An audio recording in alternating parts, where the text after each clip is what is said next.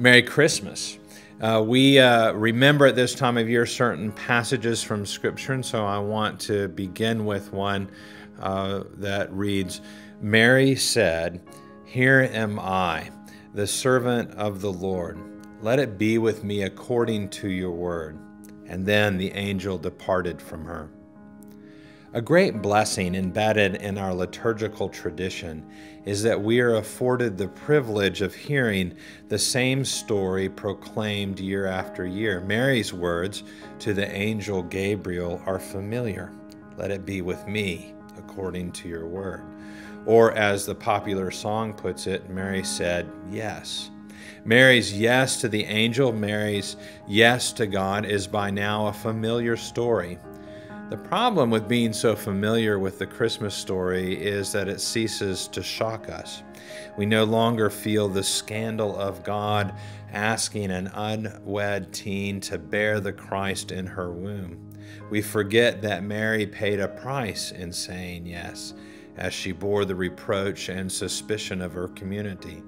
We lose sight of the radical trust required of Joseph to say yes to God in his own unique way. Amidst the most surprising and unexpected of circumstances, Mary and Joseph made space for Christ to grow in their hearts, in their homes, and in their community. They offered a wholehearted yes to God's invitation to participate in the redemption of the world as they welcomed the Christ into their own lives.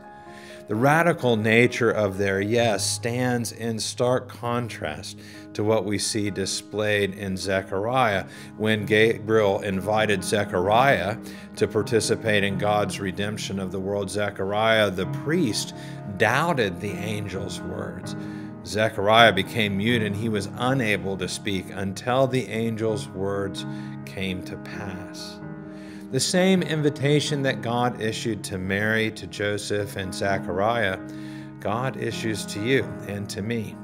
How will we respond when we lack the faith to offer our own unique yes to God's work of redeeming the world through unlikely people and un, in unlikely places, places like Zechariah? We, we become mute we may speak and string sentences together, but in truth, we have nothing meaningful to say.